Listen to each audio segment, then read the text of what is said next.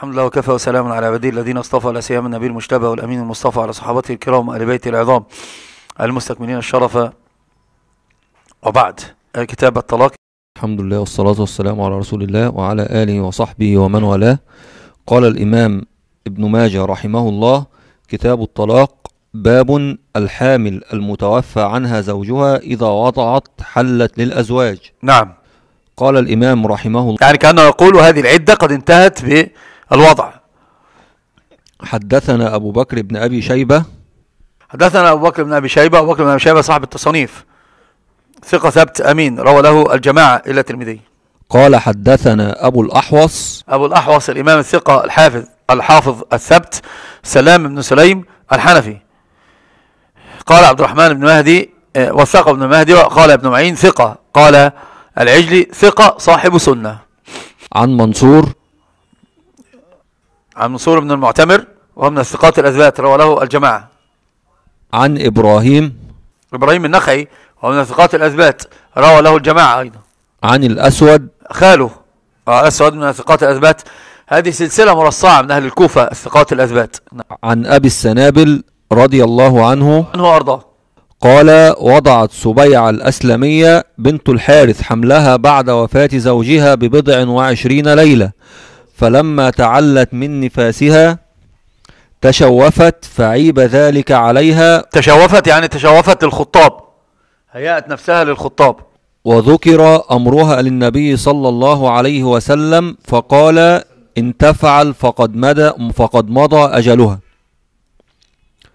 حدثنا أبو بكر بن أبي شيبة قال حدثنا علي بن مسهر. آسف مرة ثانية أنا أنا أعتذر. قال الإمام ابن ماجه رحمه الله حدثنا أبو بكر بن أبي شيبة. أبو بكر بن شيبة صاحب التصانيف ثقة ثبت أمين. قال حدثنا علي بن مسهر. علي بن مسهر من الأثبات رواه له الجماعة أيضا. عن داود ابن أبي هند. قال أحمد هو أثبت الناس في أبي معاوية محمد بن خازم الدرير. وثقه ابن معين وأيضا العجلي. عن داود ابن أبي هند. عن لحظة أنا آسف. عن داود بن أبي هند الإمام الحافظ الثقة أبو محمد الخرساني وثقة النسائي وابن معين. وأيضا قال قال ابن عيينة ثقة. عن الشعبي. الشعبي عامل من شراحيل الثقة الثبت الأمين من خيار التابعين. والشعبي هو الذي قيل له كيف بلغت ما بلغت قال بك بصبر كصبر بصبر كصبر الحمار وبكور كبكور الغراب. حياكم الله وجزاك الله خيرا يا أختي. عن مسروق. المسروق بن الأجدع أبو عائشة وهو من خيار التابعين. أعتقد أنه مخضرم. صحيح. مخضرم. أدرك زمانين. نعم. وعمرو بن عتبة مقرونا به. نعم. أنهما كتبا إلى سبيعة بنت الحارث يسألانها عن أمرها فكتبت إليهما إنها وضعت بعد وفاة زوجها بخمسة وعشرين فتهيأت تطلب الخير فمر بها أبو السنابل بن بعكك فقال قد أسرعت اعتدي آخر الأجلين أربعة أشهر وعشرا.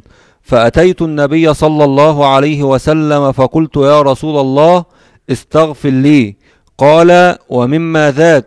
فأخبرته فقال إن وجدت زوجا صالحا فتزوجي. حدثنا قالت؟ فقال لها إيش؟ إن وجدت زوجا صالحا فتزوجي. حدثنا نصر بن علي. نصر بن علي هو الجهضمي. نصر بن علي, الجهضمي محمد آه، من الثقات الأثبات روى له الجماعة. ومحمد بن بشار. محمد بن بشار بندار مقرونا به وهو من الثقات الأثبات شيخ من أصحاب الكتب الستة. قال حدثنا عبد الله بن داود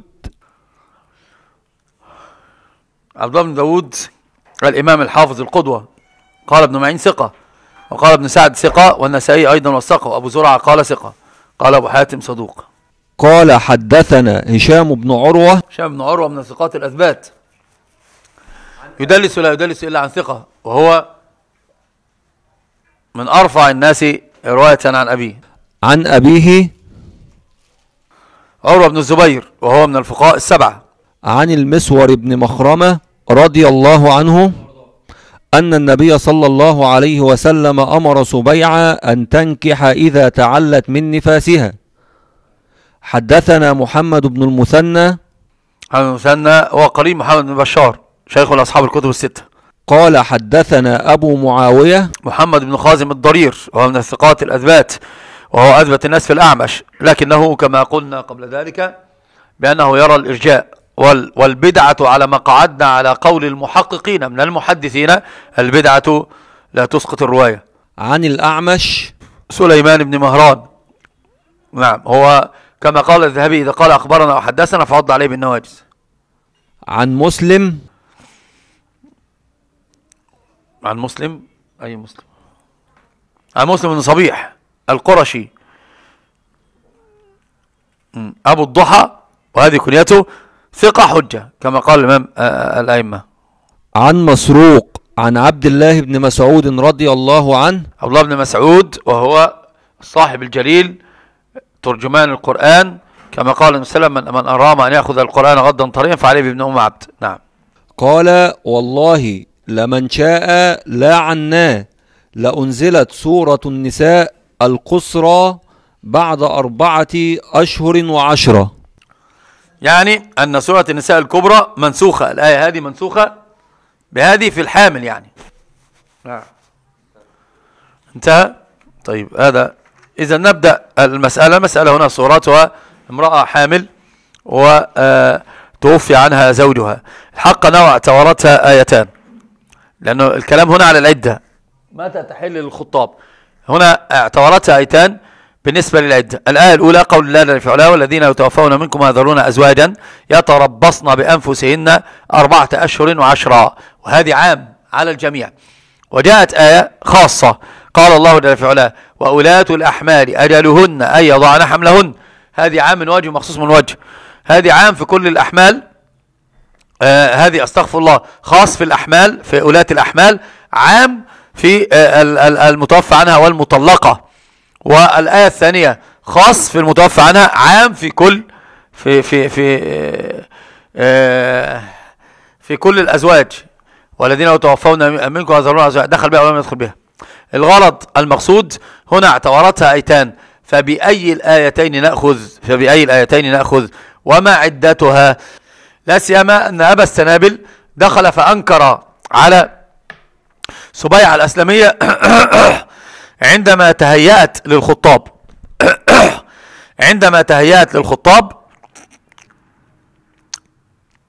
قال لها أبو السنابل يا لكع تريدين أن النكاح؟ لا حتى يبلغ الكتاب أجله. هو الحق أنه كان يريدها هو كان يريدها وعلم أنها تعجلت تريد خاطبا فقالت لممت علي ثيابي فذهبت إلى النبي صلى الله عليه وسلم. فقلت استغفر لي حتى آخر الحديث. المسائل الفقهية تتعلق بهذا الحديث المهم جدا. المسألة الأولى صحة النسخ وإجماع الصحابة على ذلك. صحة النسخ وإجماع الصحابة على ذلك. وهذه المسألة تؤخذ من قول عبد الله بن مسعود رضي الله عنه وأرضاه عندما قال والله لمن شاء آه، لا عناه لأنزلت سورة النساء القصرى بعد أربعة أشهر وعشرة اللي هي النساء الكبرى. وهذا القول من, من ابن عباس يبين أن هذه ال ال ال الآية ولاة الأحمال ناسخة لأربعة أشهر وعشرة يعني يفهم منها ذلك. فقد نقول به وقد لا نقول به. كأنه يقول لا أحد يقول بأن قول الله تعالى الذين يتوفون منكم ناسخة لولاة الأحمال أجلهن أن يضعن حملهن. بل العكس هو الصحيح. في هذا الباب. عامة هذه مسألة كما قلنا نقف عندها لأنها فيها رد على معتزلة العصر والمعتزلة التي ظهرت الآن نبتة السوء التي ظهرت ترد أحاديث النبي صلى الله عليه وسلم وأيضا تحرف في كتاب الله جل في علاه. وهم يقولون وهم أصالة يقدمون أنفسهم بين يدي الله ورسوله ويقولون لا نسخ. وهذا من مسعود أيضا دلالة على على النسخ وأن النسخ كان معروف كان معروفا عند الصحابة بل متفق عليه بل الإجماع على على على جواز النسخ بل الإجماع على وقوع النسخ في الكتاب. وأصله قول الله تعالى ما ننسخ من آية أو ننسيها نأتي بخير منها. وأيضا آه، قول آه، قول الله علاه الآن خفف الله عنكم وعلم أن فيكم ضعفا. فنسخ نسخ الله تعالى بأن يقف رجل مسلم مؤمن أمام ألف من عشرة من الكفرة جعل الوقوف يكون يصمد المؤمن أمام اثنين. من الكفرة. وهذا أيضا وقوع النسخ هنا في الكتاب ظاهر جدا في هذا الباب. وأيضا النسخ في السنة ظاهر متفق عليه بين الصحابة عندما قال صلى الله عليه وسلم كنت قد نهيتكم عن الانتباذ. ألا فانتبذوا. أهو نسخها الآن. ولا تشربوا مسكرا. وأيضا قال كنت قد نهيتكم عن زيارة القبور. ألا فزوروها فإنها تذكر بالموت. الغرض المقصود بأن هنا النسخ ثابت وفيه رد على هذا الذي يسمى عدنان الجاهل. واعتذر أنني قلت بذلك لكنه حقا جاهل لا يعلم شيئا يهرف كثيرا بما لا يعرف. وأيضا صيحات الجهل أمثاله الذين يهرفون بما لا يعرفون ويريدون حتى تحريف القرآن. لا رد السنة فقط بالجرأة الجريئة هذه بل وأيضا تحريف القرآن. فالنسخ ثابت والنسخ لا يكون إلا بكتاب الله جل في علاه بآية كما قال الله جل في علاه ما ننسخ من آية أو ننسيها نأتي بخير منها أو السنة على التفصيل الذي فصلناه في كتب. الأصول. وهذه مسألة أردت لفت الانتباه إليها لذلك صدرت الباب بها وإن كانت هي الأخيرة لكن صدرت الباب بها حتى نرد على هؤلاء الذين يعني قد تمذهبوا من مذهب المعتزلة الحديثة وردوا حديث النبي صلى الله عليه وسلم وأيضا أرادوا تحريف الكتاب وتحريف آيات آي الكتاب. المسألة الثانية هي مسألة مهمة جدا ألا وهي إتيان هذه المرأة سبيعة الأسلامية عندما جاءت إلى النبي صلى الله عليه وسلم. وقالت استغفر لي تؤخذ من هذه مسألة مهمة وهي أن الإنسان إذا زل وإذا أخطأ فباب التوبة مفتوح إلى يوم القيامة كما قال الله جل وعلا باب التوبة مفتوح حتى تطلع الشمس من مغربها أو, أو إلى الغرغرة لذلك قد قال الله جل وعلا وتوبوا إلى الله جميعا أيها المؤمنون وفيها أيضا تعليم المسلم المكلف آه، العابد لرب جل في علاه بأمرين. الأمر الأول أنه ليس معصوما وقد يزل وقد يخطئ. هؤلاء الصحابة الأخيار الأماجد والذين وسمهم الله تعالى في كتابه بأنهم خير بشرية بعد الأنبياء والمرسلين آه، قد خلقها الله جل في علاه عندما قال وألزمهم كلمة التقوى وكانوا أحق بها وأهلها. وأيضا قد بين الله جل في علاه أن أن هؤلاء أن هؤلاء هم أفضل الناس عند الله. لقد رضي الله عن المؤمنين إذ يبايعونك تحت الشجرة. وفيهم من أخطأ وفيهم من عصى وفيهم من من حدث منه بعض التعدي سهوا أو أو أو جهلا أو غير ذلك. وقع وقع للبشرية وقع للبشرية مع أنهم خير البشر على الإطلاق. وهذا فيه دلالة على أنه الإنسان ليس معصوما بحال من الأحوال. قال الله تعالى آه، قال النبي صلى الله عليه وسلم كل كل ابن آدم خطاء وخير الخطائين التوابون. وأيضا قال النبي صلى الله عليه وسلم لو لم تذنبوا لذهب الله بكم ولأتى بقوم يذنبون فيستغفرون فيغفر لهم. بل قال الله عن الأنبياء الذين هم خيرة البشر وعصى آدم ربه فغوى. لكن هنا التعليم والتأديب بأن الإنسان لو وقع في مثل هذا فعليه أن يبادر وأن يسارع أن يستغفر ربه جل في علاه أن يتوب أن تكون سرعة الفيئة والتوبة إلى ربه جل في علاه. ولسان حاله في كل في كل في كل حين وآن. وعجلت إليك ربي لترضى. لذلك جاءت صبيعة إلى النبي صلى الله عليه وسلم فقالت استغفر لي. وهذا فيه دلالة أيضا على جواز طلب الدعاء من الغير لا سيما إن كان من الصالحين أو كان يظنون أنه من أهل الخير فطلب الدعاء منهم جائز خلافا لما قاله شيخ الإسلام وغيره بأنه خلاف الأولى أو أنه مكروه والصحيح الراجح أنه ليس إلا أنه على الجواز ليس مكروها وليس خلاف الأولى. والأدلة على ذلك كثيرة. فيها إقرار النبي صلى الله عليه وسلم عندما قام النبي صلى الله عليه وسلم وقال سبعون ألفا يدخل الجنة بغير حساب ولا عذاب. قال عكاش بن محصن يا رسول الله ادعو الله أن نكون منهم. قال قال أنت منهم. وأيضا آه، بنت ملحان لما سألت النبي صلى الله عليه وسلم وقالت له ادعو الله أن أكون منهم. قال أنت من الأولين. ولم ينكر عليها أنها طلبت الدعاء منه. وأيضا آه، جاءت أم سليم بأنس قالت خويدمك أنس يا رسول الله ادعو الله له. فدعا له النبي صلى الله عليه وسلم بالبركة في المال والأهل والولد ولم ينكر عليها. والنبي صلى الله عليه وسلم ينكر, ينكر على المكروه نعم كما ينكر على على المحرم. وأيضا آه، قد طلب النبي صلى الدعاء وإن كان هذا الحديث ضعيفا. هذا الحديث ضعيف لكن نستأنس به. لما استأذن عمر الخطاب النبي صلى الله عليه وسلم في العمرة قال له لا تنسنا من فضل دعائك يا أخي. لا تنسنا من دعائك يا أخي. وهذه فيها دلالة على الإقرار بل إمعان في الجواز بطلبه من النبي صلى الله عليه وسلم. وأيضا قد قال النبي صلى الله عليه وسلم هذا قولا وأمرا هو الآن. قال النبي صلى الله عليه وسلم خير التابعين ويس القرني. خير التابعين أويس آه، ثم ذكر أوصافه. قال آه، قال هو آه، كان به برص ثم شفي منه إلى موضع الدرهم له أم هو بها بار. هذه العلامة. له أم هو بها بار. من قارن ثم من مراد. فذهب عمر الخطاب لما أتوا من اليمن فسألهم أنتم من قارن ثم من مراد؟ قالوا نعم. قال أفيكم أويس؟ قالوا لا نعرف. ما, دله إلا رجل؟ قال ترى هذا الرجل الذي يجلس بعيدا بثياب الرثة هذا هو أويس. فذهب إليه عمر الخطاب قال أنت أويس؟ قال نعم. قال لك أم أنت بها بار. قال الحمد لله قال أنت من ثم من مراد قال نعم قال كنت مصابا بالبرص وشفيت منه إلى موضع الدرهم قال نعم. قال استغفر لي. قال من؟ قال استغفر لي. قال أنا أستغفر لك أمير المؤمنين. قال نعم سمعت رسول الله صلى الله عليه وسلم يقول كذا وقص عليه الحديث. فطلب منه الاستغفار. وهذا طلب دعاءه الآن من الغير. فهذه فيها دلالة واضحة جدا على جواز الدعاء طلب الدعاء من الغير. قالت استغفر لي يا رسول الله. وأعظم ما, ما تطلب منه أن يستغفر أن يغفر الله للإنسان الزلات والسقطات والهنات. يعني أنا محدثكم يعلم الله أن الإنسان بلغ ذنوبه عنان السماء لكني أطمع في كرم الرحمن سبحانه جل في علاه وأنه قال يا ابن آدم لو بلغ ذنوبك عنان السماء. فاستغفرتني غفرت لك على ما كان منك ولا أبالي. قال يا ابن آدم لو أتيتني بقراب الأرض خطايا ثم لقيتني لا تشرك بي شيئا. لقيتك بقرابها مغفرة. اللهم اغفر وارحم وتجاوز عما تعلم. فإنك أنت الأعز الأكرم الغرض المقصود بأن طلب الدعاء من الغير لا سيما من العلماء من الأبرار من الذين يتوسم فيهم الإنسان الصلاح والخير. فهذا هذا أنا أراه مستحبا. أو أراه على الأقل على الجواز ويميل أكثر إلى الاستحباب في هذا الباب لأنه الإنسان يلتمس الأقرب استجابة للدعاء.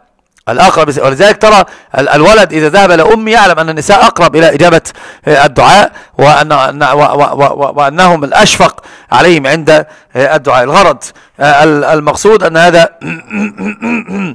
يبين لنا الجواز أو الاستحباب طلب الدعاء من الغير لا سيما إن كان من الصالحين.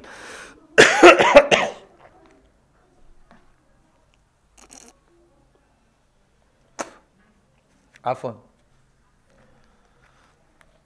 المسألة الثالثة مسألة من الأهمية بمكان وهي آه، آه، ما هي عدة المرأة التي توفي عنها زوجها؟ ما عدة المرأة التي توفي عنها زوجها؟ إن كانت حاملا.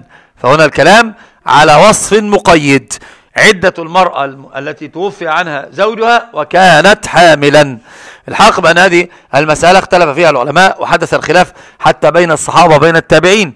عندما ظهر ظهر ظهرت المجادلة بين أبي سلمة بن عبد الرحمن آه، لابن عباس رضي الله عنه وأرضاه ذكر عنده المرأة التي توفي عنها زوجها وكانت حاملا. قال عدتها أجلها أبعد الأجلين. قال عدتها أبعد الأجلين. وهذا ما ذهب إليه علي بن أبي طالب رضي الله عنه وأرضاه. قال عدتها أبعد الأجلين. واستدلوا على ذلك بالجمع بين بين الدليلين. وحقا من جهة النظر هذا أقوى ما يكون من الأقوال. إذ إعمال الدليلين خير من إهمال أحدهما. وقد قال الله جل في علاه وما أتاكم الرسول فخذوه وما نهاكم عنه فانتهوا. قال الله جل في علاه والذين يتوفون منكم ويذرون أزواجا يتربصن بأنفسهن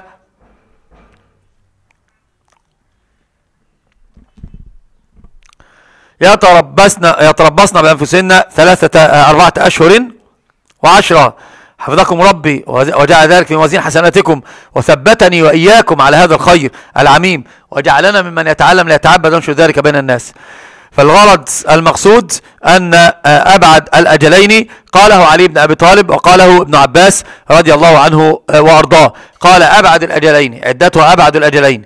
ونظر في ذلك وطبعا نعم نعم نعم سيأتي سيأتي. لا تتعجل أينما زرعك الله أثمرته أقول هذا كلام علي بن أبي طالب وفيه قوة من النظر وقوة النظر فيه هو أنه يعمل بالأجلاء يعمل بالدليلين. والدليل الأول هو قول الله في علاء والذين يتوفون منكم ويذرون أزواجا يتربصن بأنفسهن أربعة أشهر وعشرة.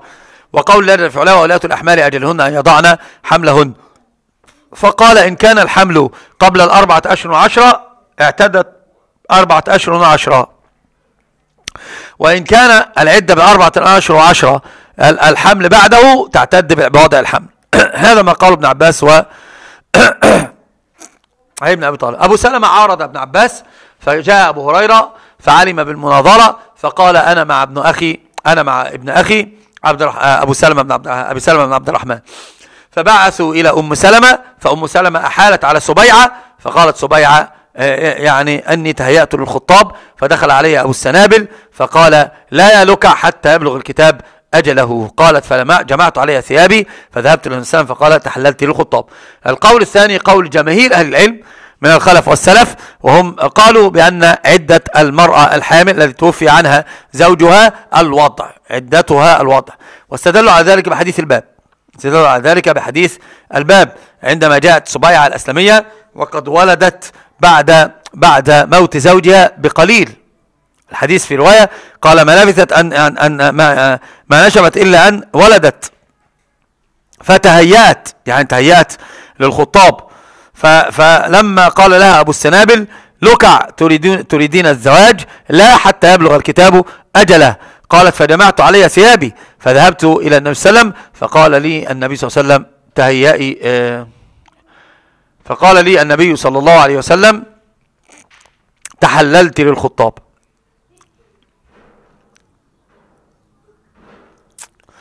أو قال إن جاءك الرجل الصالح فاقبليه. وهذا فاصل في النزاع. الحق بأن هذا فاصل في النزاع. وقول الجمهور هو الصحيح. وإن كان قول علي بن أبي طالب وقول ابن عباس فيه شيء من قوة النظر للجمع بين الدليلين لكن نحن ندور مع مراد الله حيث دار وندور مع مراد النبي صلى الله عليه وسلم حيث حيث دار. فالصحيح الراجح أن سبيعة فاصلة في الخطاب لأنها وقع القصة واقع عليها وأن زوجها مات وهي حامل وكان قريب وكانت قريب الولادة فلما ولدت قال لها النبي تزوجي الرجل الصالح إذا أتاك. قال تحللت للخطاب. ويبقى لنا الكلام على آه، كلام ابن عباس. نقول نعم قد قد نحمل الأمر على أبعد الأجلين لو لم يأتي الحديث الفاصل في ذلك وهو حديث سبيعة الأسلمية وأن النبي صلى الله عليه وسلم قال لها قد تهيأت للخطاب وبين المراد من ذلك وكما قلت نحن ندور مع مراد الله حيث دار وندور مع مراد النبي صلى الله عليه وسلم حيث حيث دار. وكان مراد الله في الآية هو تخصيص المرأة الحامل إذا ولدت وتوفي عنها زوجها فإن تعلت من نفاسها كما في حديث المسور إن تعلت من نفاسها أنها تتزوج. الفوائد المستنبطة هذا الراجح الصحيح. الفوائد المستنبطة من الأحاديث. أولها ليس عيبا على المرأة أن تهيئ نفسها للزواج بأن تجر أحدا أن يخطبها أو يتزوجها. ما دامت أرادت حلا فلا ملام عليها بحال من الأحوال. وهذه سيدة من سيدات نساء العالمين تشوفت, تشوفت للنكاح وتهيأت للخطاب. فدخل عليها وجدها مهيئة تظهر جمالها وهذا قبل النقاب قبل النقاب هذا. هذا قبل نزول يعني إذا قلنا بوجوب النقاب. فتهيأت للخطاب. فليس على المرأة من عيب على ذلك. فقد فعلت ذلك سبيعة الأسلامية وهي من خيرة الناس. الفائدة الثانية الرجوع إلى العالم عند الخلاف. تفضل حاتم كم وكم تثرين بفوائدك الغنية الثرية السامية؟ تفضل فيها عمق. نقول حتى تأتي بالفائدة. الرجوع للعالم في عضل المسائل كما قلنا. الإنكار بما يعلم المرء. الإنكار بما يعلم المرء. حتى لو كان آه، لم يعلم بالناسخ أو المنسوخ أو لم يعلم بمراد الرسول صلى الله عليه وسلم آه، الأخير له أن ينكر بما علم. لأن أبا السنابل آه، أنكر بما علم. قال لا حتى يبلغ الكتاب أجله والحق بأن السلام لم يقر قال كذب أبو السنابل. وكذب هنا بمعنى أخطأ في لغة الحبشة. وأبو السنابل أخطأ فقط في الاجتهاد ولم يقصد كذبا وهذه فيها دلالة على, على أن الإخبار بما لا يطابق الواقع يسمى كذبا. جواز إظهار مكانة العبد نعم نعم نعم. ولذلك قد بين أن السلام مكانة عمر مكانة أبي بكر مكانة عبد الرحمن مكانة العشرة المبشرين بالجنة. نعم ممتاز. جواز إظهار مكانة العبد إن, إن, خوف إن, إن, إن لم نخشى عليه الفتنة. نعم. إيش قال لكن وين الشاهد منها؟ ابن مسعود ابن مسعود نعم. وفي في رواية أصلا في المبهلة أصارت نعم،, نعم نعم. هو هو كان يقول يقول لو أعلم أحدا أعلم مني بالكتاب تضرب له أكباد الإبل لفعلت. نعم. ومن الفوائد أيضا أويس نعم وأويس أيضا. هو ابن مسعود كمان في الباب أفضل. دلوقتي الدكتور تامر بقى أحن منا على النساء. يقول إذا تغيرت هو اللي نايم انبطح أرضا. هو قال مراعاة الشريعة لمشاعر النساء. فين بقى مراعاة الشريعة لمشاعر المرأة هنا؟ أين هي؟ عندما قال لها تحللت لل- للخطاب؟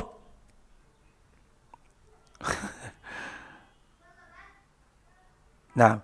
سرعة الفيء إلى الله جل في علاه. من الفوائد؟ جواز التزين للخطاب. هيموتني سعيد لما هيموت على هذا الباب فلذلك يعني بيكرره أكثر مرة.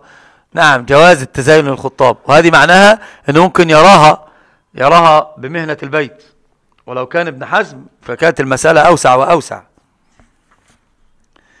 وأنا أنا أدين الله بأن هو, أن هو, أن هو يرى منها ما يدعو إلى نكاحها. وهذا بقى أمر فيما فيه من ذكاء وفطنة الخاطب إن كان صادقا في ال- الخطبة يعني. لا لا باين يا أخ يا إسكندراني باين يا أستاذ كريم و... وسنقرأها السرعة إلى التوبة. نعم. وعدم الجدال بغير علم ممتاز. آه الله يحفظك يا أستاذ كريم. رأيت بقى أن إحنا رأيناها من الفوائد أيضا.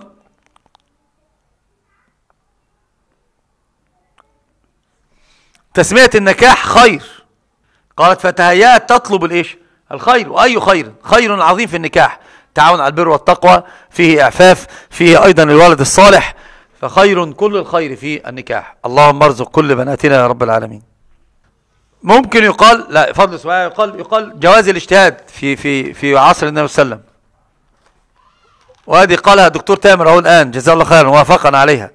نعم جواز الاجتهاد لأن بالسنابل اجتهد الحق أيضا نأخذ فائدة فضيلة الشيخ مصطفى سرعة الرجوع على الحق والصواب والبعد عن الخطأ. جز- جزيت الجنة يا شيخنا. رفع الله مقامك وشكر لك. نعم نعتمد هذه الفائدة من فضيلة الشيخ مصطفى أيضا. آه، قال جواز الحيلة الشرعية ليست فيها حيلة. هنا هي- هي ما ما احتالت. هي حسبت وفهمت أنها قد تعلت يعني لما تعلت نفسها أنها قد تحللت للخطاب. هل يجوز على المرأة أن تتزين بمساحيق التجميل بالرؤية الشرعية؟ ده عمر دخل في الخط هو كمان. إيه، ماذا أقول؟ لا لا ليس لها أن تفعل ذلك. لأنها عندهم بودرة تبيض السمراء وتحمر الخضراء. وهذا فيه ما فيه من الغش لا ليس لها أن تفعل ذلك حتى لا تتحايل عليه